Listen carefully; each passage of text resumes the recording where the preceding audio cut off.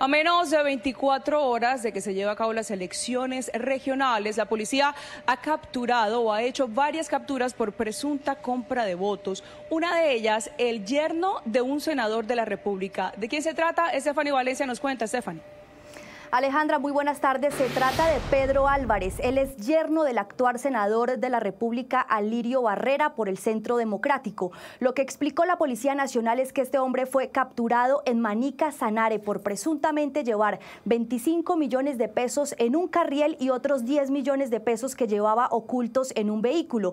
Dice la policía que también le encontraron oculto en ese carro material, propaganda política de una candidata a la gobernación de ese departamento quien además es actualmente la esposa del senador Barrera. En este momento la Fiscalía General de la Nación adelanta la respectiva judicialización y además imputación de cargos a esta persona. Escuchemos lo que dijo el eh, senador Barrera respecto a la captura de su yerno, quien además aclara que se trataba de pagos de nómina de personas que trabajan con él en su campaña. Y la gente pide que así sea su trabajito que hizo de dos, tres horas en el día, se lo paguen. ¿Cierto? Hay que pagar arriendos, hay que pagar cafetería, hay que pagar, bueno, una cantidad de cosas, publicidad, todo eso se empieza a pagar el día de ayer y el día de hoy.